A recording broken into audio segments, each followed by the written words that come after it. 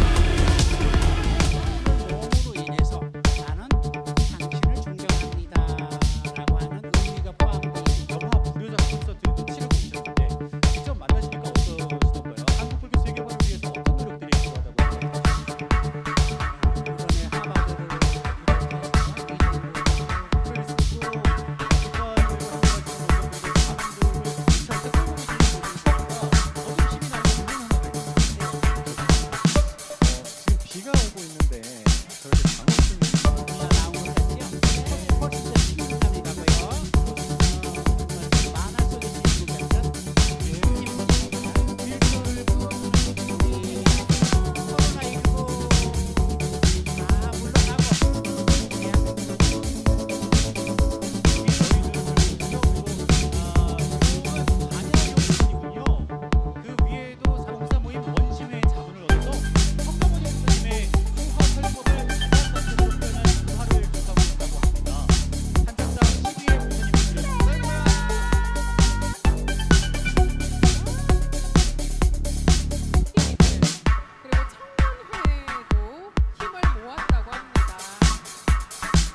오늘은 연기를 품고 있는 용의 모습을 보여주고 있는 천태종 행렬입니다.